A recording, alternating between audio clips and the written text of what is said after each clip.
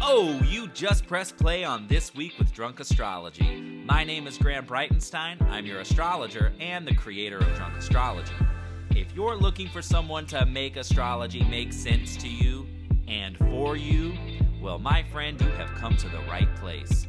Here on this podcast, we discuss the weekly cosmic weather. And when we break it down, we break it down. I believe that astrology can be used as a tool to inform your daily decisions and enhance your day to day life. So if you're ready to have a hell of a lot of fun with astrology, make some strategic decisions, and to just keep it real,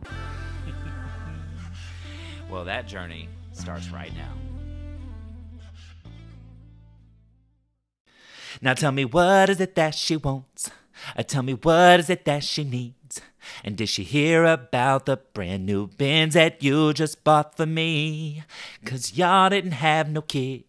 You didn't share no mutual friends. You better sing. And you told me that she turned trick when y'all broke up in 96. What you gonna do when you can't say no and your feelings starts to show? Boy, I really need to know. And how you gonna act? How you gonna handle that? What she gonna do when she wants you back? What you gonna do when you can't say no and your feelings starts to show? Boy, I really need to know. And how you gonna act? How you gonna handle that? What you gonna do when she wants you back?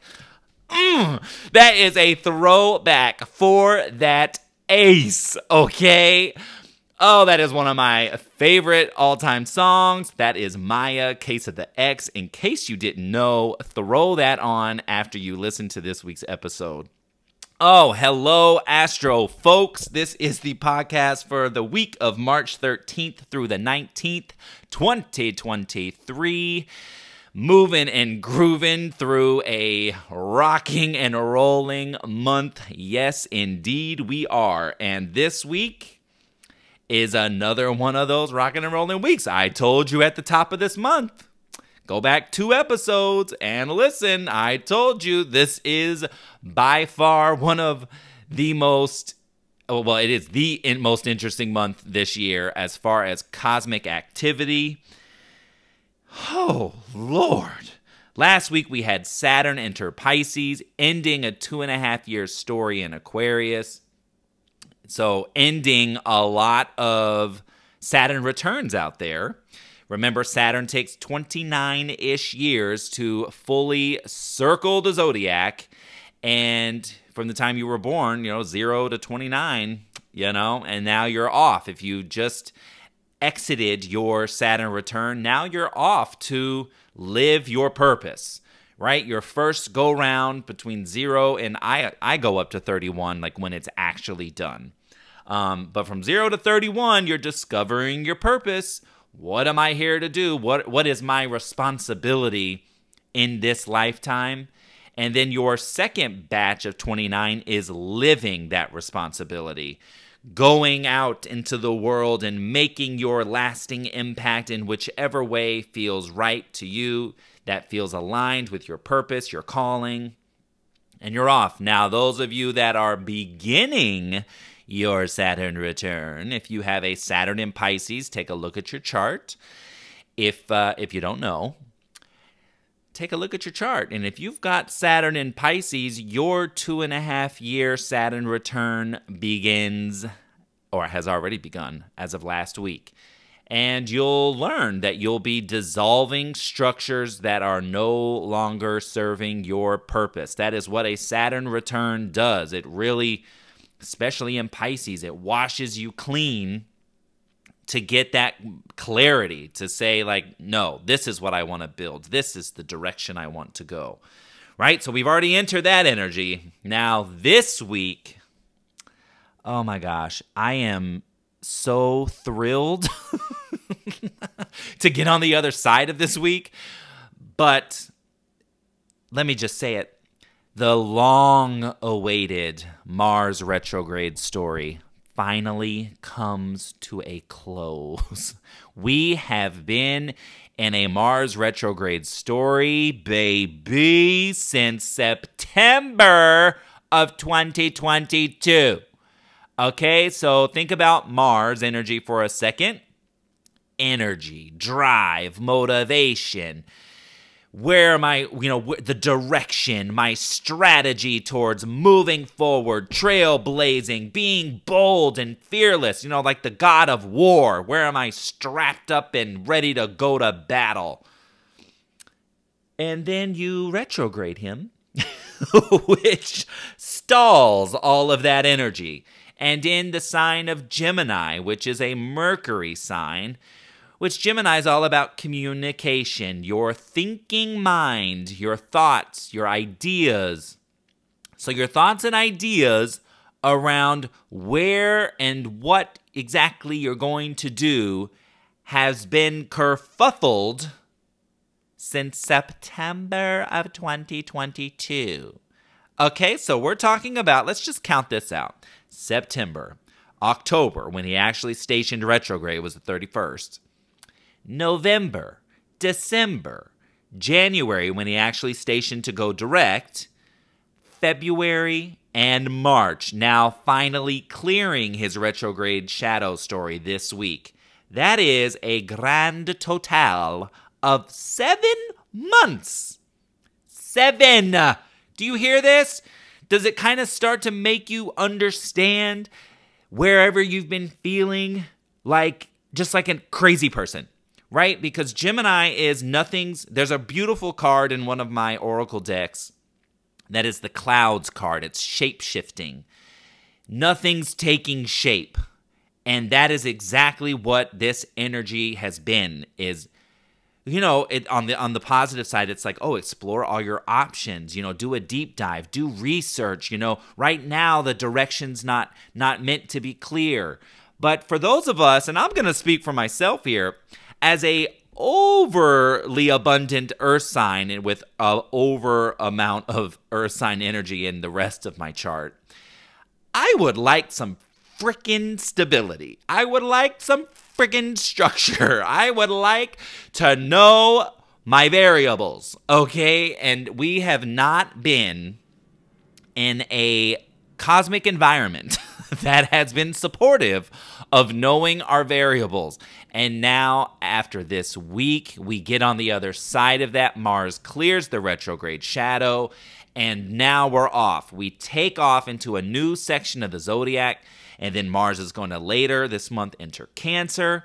And that's a whole nother energy in itself, but we get out of this retrograde ish. I almost said a four letter word, and I know I know that I'm I'm known for that, but I don't want to do that seven minutes into this podcast.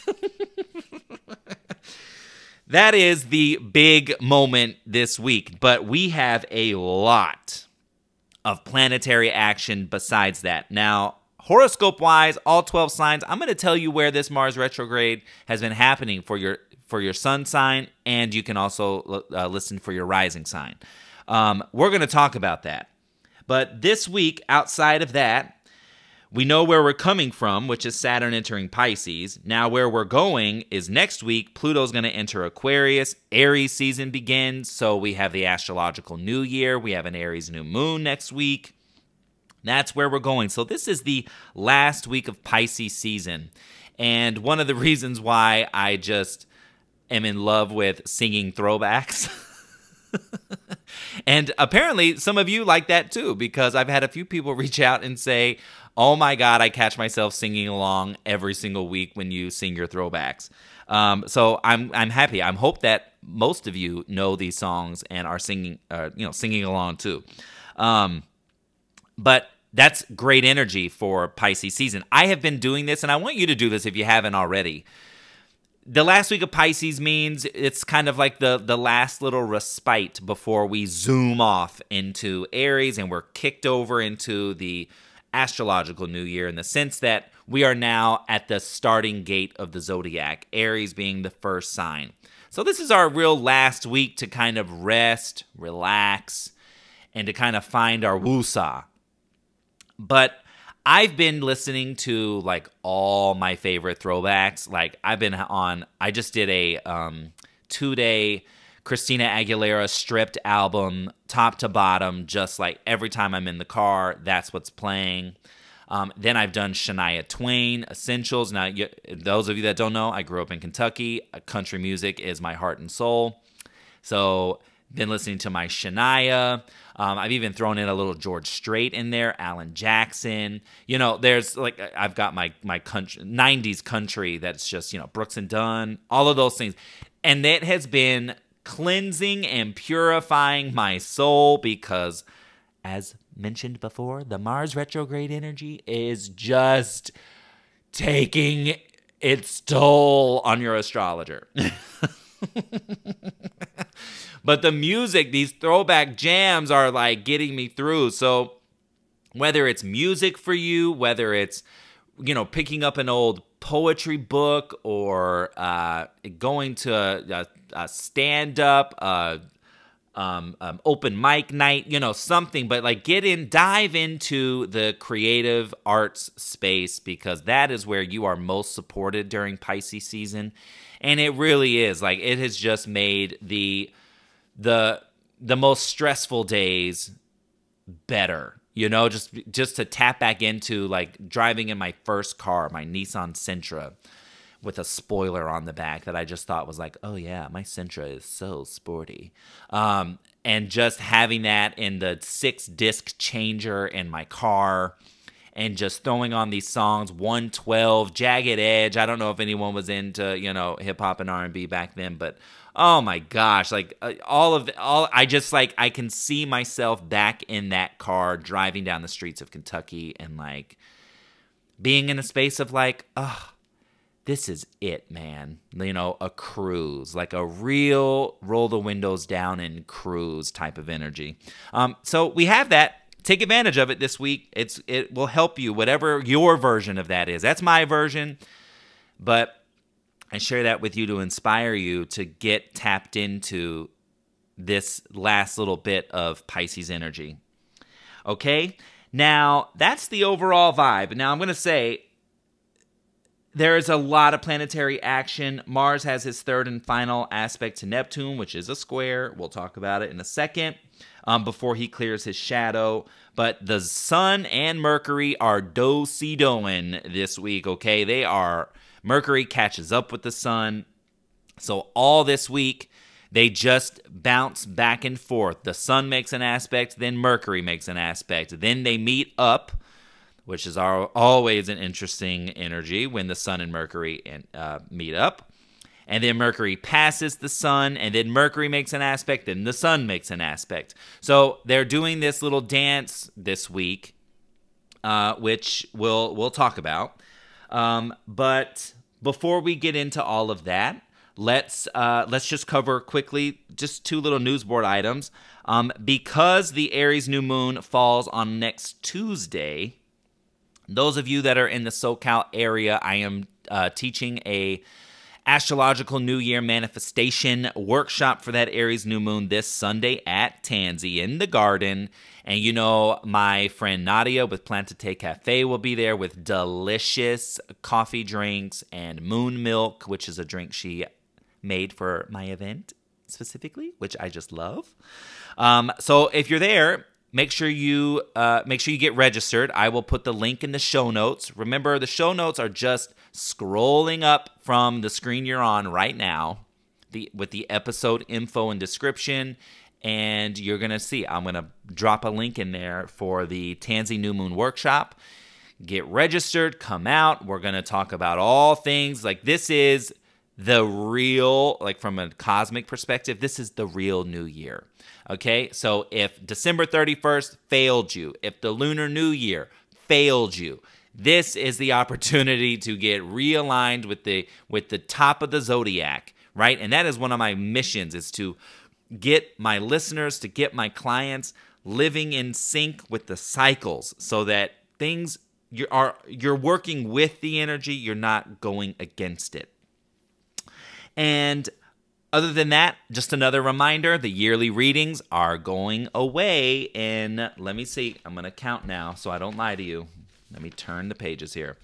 We are at this point, and we've got one, two, less than three weeks now. We've got until Friday, March 31st, and then the yearly readings go away until 2024. So just keep that in mind. Now, also, if you're listening to this on Sunday the 12th, it's daylight saving. So hopefully your phone moved it, you know, uh, changed the time up uh, automatically, but make sure you change the clock in your car, on your microwave, on your oven, your alarm clock if you still have one of those. Make sure you're adjusting that so you don't wake up tomorrow and have to go to work and you're an hour late. the scramble can be real. Okay, so those are the those are the two news board items. Um, really quick and short this this uh, this week, and let's go into the horoscope for Mars, shall we? Where have the brakes been pressed and released, then pressed again? It's like we take two, three steps forward, and then we have to shuffle our steps back and then do it all over again. We make a little bit of progress, and then we have to move back. Where has that energy been kerfuffling, muffling things up? Some of you, or maybe it's just me, might say, um, every aspect of my life has been like this. I'm going to say this too before I get into all 12 signs. The week that a planet like this, clearing this energy that has been going on for so long, it can pop the story. Okay, so I want you to keep that in mind as I go through all 12 signs. I just want you to keep in mind that this week you you can expect eh, like some sort of a pop. And sometimes a pop can be like a moment of clarity. Remember Gemini is our thinking mind and we are under Virgo full moon energy. So, revelations, illuminations, they're all still happening. These aha moments internally are happening. I had a huge one the night of the full moon where everything kind of zipped into place. Now, of course, I am a Virgo, so that was definitely written in the stars for me, and it lit up my chart like a Christmas tree. Um, but it was that mental clarity that was like, oh my God, that is what I can do. That's how I can shift my structure, shift my paradigm. Like, oh my gosh, okay, I'm it, things are starting to come together now. Um, and just keep in mind because Virgo under that full moon, that's a Mercury ruled sign, and now Mars and Gemini and an, another Mercury ruled sign. It, eh, these these pops or these revelations are can be experienced more internally. So I don't want you to think that every time we talk about aspects, especially with something like Mars and Gemini, that it has to be some kind of external thing that you are, you know, something that's like, oh my God. Not that it can't be, but I feel like some people listen to this podcast or listen to astrology, follow astrology, you know, however loosely or tight you may be following, because they want to anticipate the big events. I get that. I totally get that because, you know, from a from a standpoint of like I just want to know what to expect, I understand. Um, but don't discount the the internal, the personal shifts because astrology is great for that to say like wait but what was that you know in, in a day where you make how many decisions it's like like over a million decisions or something a day i don't know um but you know in a day where we make trillions of decisions you might get lost you know some like little aha moment you might be like you know you might miss the fact that like oh that was it that's the aspect graham was talking about i just realized that you know, you're starting to connect the dots. This Mars retrograde finally coming to a close this week. You, you can finally connect the dots with what your next steps are. What does it look like moving forward? You've been in a haze, okay? We've been foggy AF about our direction and about where we're going. And now you can finally overcome that energy this week by connecting the dots. Okay, so think about that as we're going through all 12 signs.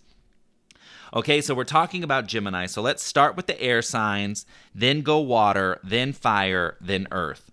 So, air signs Gemini, Libra, Aquarius talk about direction, the, the compass being a little off, right? Now, it, it, that was what was meant to be true, you know, kind of having like this like directionless kind of just like, well, I guess I'm just gonna kind of like go here. I don't really know like what else I'm supposed to do, but I guess I'm just gonna like go here. Now, your sense of direction, your sense of intention now starts to come clear, starts to get into focus. So I want you to think where do you need to be a little extra bold? Where do you need to, where can you tap into some fearlessness about, okay, I'm going to wear my heart on my sleeve and I'm going here, or I'm going to, um, this is for all of you, okay? Um, I'm gonna I'm gonna say declamatory now. I'm going to go there. I'm going to give this. I'm going to do this. These are all Mars keywords, but this has been in the you yourself and you zone and really like putting yourself in a leadership position of, of some way or just being the leader of your own life and taking it by the reins yourself and saying, I'm going to, I'm pointing the compass now. Not gonna let any anybody else or not gonna let any other external influence dictate which way I'm going. Now I am saying, or boom, this is what I'm gonna do. Okay?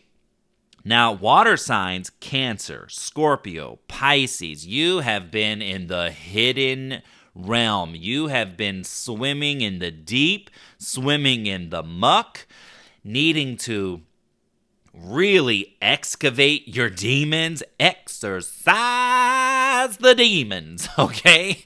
You have been really asked to dive deep and explore your emotional depth, explore your, I mean, it really is exploring your demons and looking at the muck of your life, looking at what has been hidden, what hit, what you have kept kind of like pushed down in the hidden realms and and really pulling that up. Any kind of self-sabotage any kind of negative repeated patterns all of that has been just in this cycle and now you start to you start coming up for air. You start getting that sense of like you know what? I'm ready for this chapter to be done. I'm ready to wring out the the last vestige of this darkness or this depth this like oh this period of time where you know you might have been crying more often. You might have been down in the dumps a little bit um, or a lot of it and now it's finally like, oh, you're almost at the surface, and then then you you take off, right? When Mars enters Cancer, you're gonna be like, you're gonna get that energy, and you're gonna go bam, like now I'm going. But right now it's like that last little squeeze. So just keep going, just keep swimming, just keep swimming. You're almost there okay? And you finally will start to feel, you should start to feel the light at the end of the tunnel being like right there. Okay, you're just you're just about to turn that new leaf. Let go. Let go water signs. Cancer, Scorpio, Pisces, let go of what no longer serves you. Acknowledge what needs to be released and then bid adieu. Now, fire signs Aries, Leo, Sagittarius. It's all about your close-knit relationships, your partnerships, your your collaborations, your your groups, your communities, anything that you're a member of, okay? You might have had some might have had some some difficult relationship things going on, okay? Now remember when you hear relationships, I have to like de-influence that word because a lot of people think just it just means romantic. I want you to think about relationships across the spectrum. Romantic, yes, but platonic, friendships, family, found family, even. Okay, so fire signs, I want you to just kind of evaluate your relationship story. How has that gone through like a roller coaster since September? Okay, and again, Mars retrograde in Gemini is things not taking shape. Well, now things are starting to get clear. If you began any kind of new relationship over the last six, seven months, um, that can either turn a new leaf or that can also say, mm, if you're already kind of suspicious, like, is this going to come to an end? Is this something that has staying power. It is something that, you know, it might have served its purpose. Things begun in a retrograde like this, with Mars being uh, one of the key relationship planets. It's how you fight, it's how you have sex, um, it's, it's that ignite, that uh, kinetic um, ignition, that chemistry between two people. Um, the flame can sometimes go out when this story comes to a close. So just kind of evaluate, you know, if if something began in the last 7 months on the relationship front, whether it's work w- across the spectrum,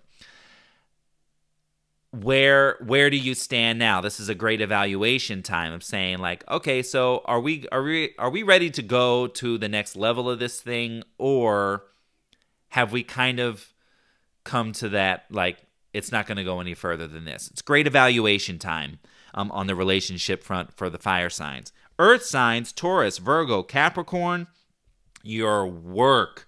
Your work, your finances, your sense of stability. Hello, your Virgo astrologer is like, we just make it make sense. That has literally been my quote the last couple weeks. Just make it make sense. Just what can I expect? How do I take this moving forward? What do I do? It all starts to come together this week, Earth sign. So I want you to keep that in mind. What is your work story? What journey have you been on? What roller coaster have you been riding on? Up and down and up and down. Um, if you've been trying to get a new job and things have just not been landing or just not aligning, well, now things start to correct. The clarity that you've been looking for and that you need starts coming into focus as we clear this energy on Thursday, by the way. March 16th, this Thursday, is when Mars clears his retrograde shadow. Um, so there is, that there's just, it's been a lot. It's been a lot. I will speak on this myself as an Earth sign and an Earth rising. That, um, no, Virgo, Sun and rising that it's it's very much been it's you know your your career your professional trajectory like where am i going? Feeling like you're stepping back but trying to move forward. It's all been it's all been amuck. And now amuck amuck amuck amuck. Sorry hocus pocus. Um, and now finally as of thursday we get on the other side of this and have that pop some way shape or form Okay, so that's the horoscopes for everybody. Let's talk about the moons really, really quick. Remember, if you are a daily dose of stars subscriber, that you will get each and every day broken down in that daily podcast. Um, if you want to subscribe, just go to the show notes, scroll up. Um, we do have. Let me not let me not forget to mention we have a new daily doser. Donna Dies just um, subscribed.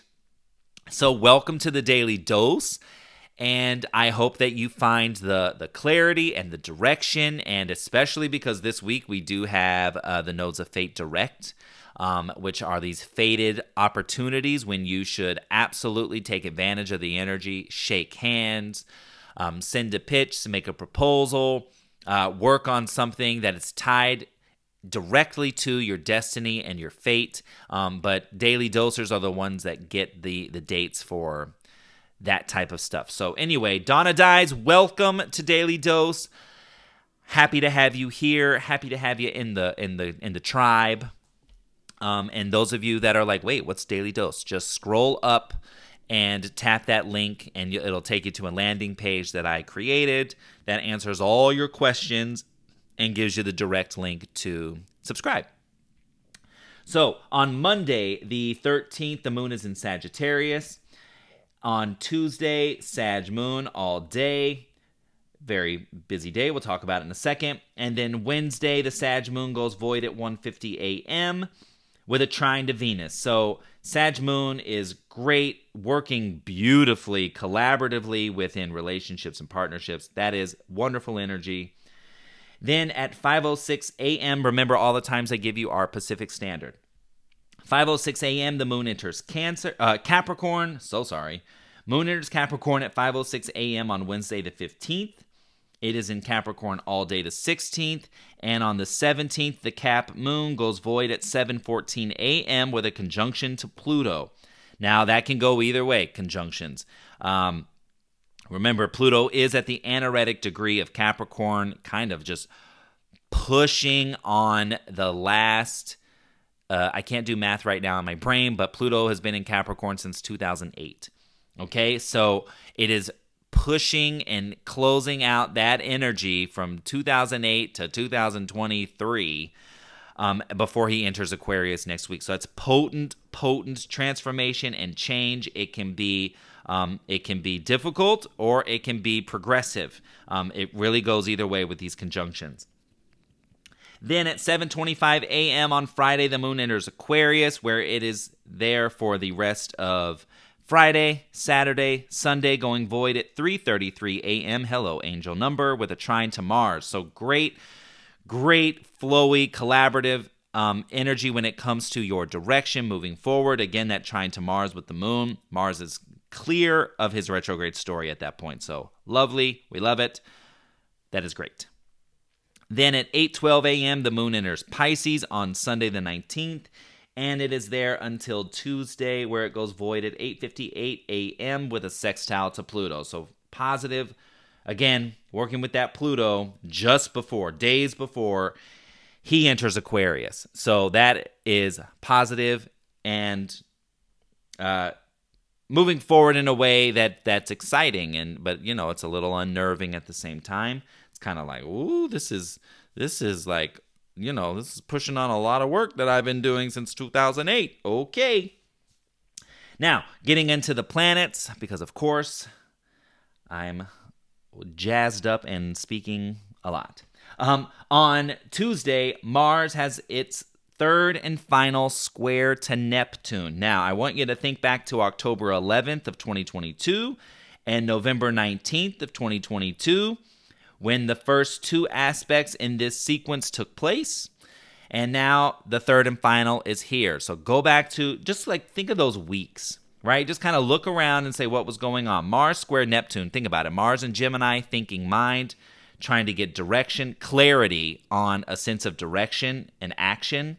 Neptune's in Pisces in La La Land, right? You know, what, what do I create? What am I uh, what's my what's my big vision what you know is the what where are my limits i have no limits i'm boundaryless right? And mars is just like yo just tell me where to go. Tell me where to go huh? Tell me where to go. Ah tell me where to go. Ah tell me where to go.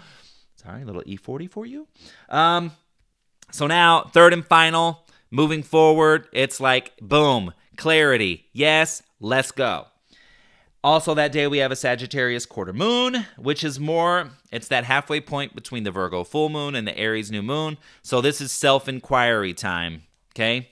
You know, where do I stand with what I need to let go, with what I need to release? That's a good um, energy for that. Then the Sun and Mercury dosey dose start. Sun has a conjunction to Neptune on Wednesday. That's coming up and giving light to the dream, giving light to the vision. Like, okay, here's what it is. Then the next day, Thursday. Now, Thursday's crazy, okay? Daily dosers, we're to go more in depth in this. But Mars clears his retrograde shadow, but he has a square to the sun. And then Mercury has its conjunction to Neptune, right? So Sun does it on Wednesday, then Mercury does it on Thursday. Sun squares Mars, Venus squares Pluto, then Venus enters Taurus at 3:34 p.m. So just before she leaves Aries, where she's in warrior mode, she goes to Pluto and says, Huh? What? What did you say? What do I need to change? What what is going on? What power struggle am I in? And then she enters Taurus, where she's happy as a clam. She's Aphrodite. She loosens up. But then Mercury has a square to Mars at 9:49 p.m. that night, right? You hear all of that? That is one, two, three, four, five aspects, not including the Mars clearing his shadow. Busy, busy day on Thursday, and that moves over into Friday where the Sun and Mercury come up and meet each other. Don't fight on Friday, okay?